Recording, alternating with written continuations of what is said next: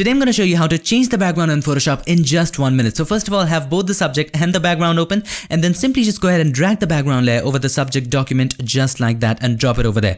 Now, if you want to adjust it using the move tool, just simply adjust it just like this. Now, once that is adjusted, take the background just below the subject and make sure the subject layer is selected. Now, select any selection tool and click on select and mask at the top. Now, once you're in select and mask, make sure the view is, don't worry about the background right now. Make sure the view is onion skin and the transparency is somewhere around 50%. Now, with the help of the quick selection tool, you can just simply go ahead and paint on the subject just like that. And if you want to refine the edges, if the edges are not looking nice, with the help of the refine edge tool, just simply paint on the edges just like that and you're pretty much good to go. Now, before you hit OK, just make sure that you simply go ahead and select output to layer mask. Hit OK once you're satisfied. Now, you have changed the background. If you want to adjust the background, so select the background and with the help of move tool, just adjust it and there you go.